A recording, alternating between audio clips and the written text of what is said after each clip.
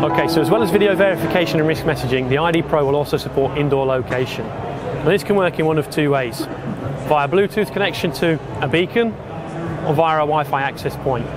Now a Bluetooth beacon works by submitting radio waves rather than cables or connections into the open. As long as an electronic device, such as an ID Pro, has Bluetooth enabled, it can see that Bluetooth beacon when it's in proximity.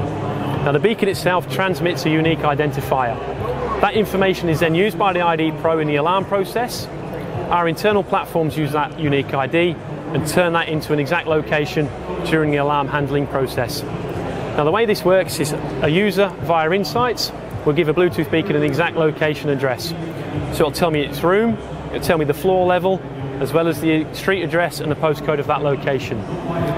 When that unique ID of the beacon is transmitted, the processor, the ID Pro and our platforms connect those two informations together and therefore we can identify the exact location of the uh, user during that alarm process.